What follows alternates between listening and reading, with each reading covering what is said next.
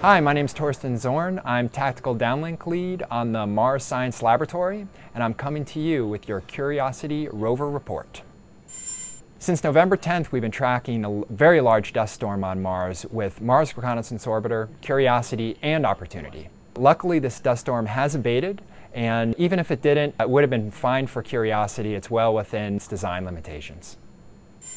Recently, Curiosity was able to take a beautiful high-res image of herself using the MAHLI handheld imager.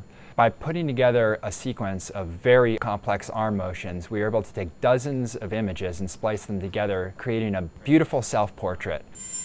After several weeks of being stationary at the Rocknest site, we began driving again on Sol 100.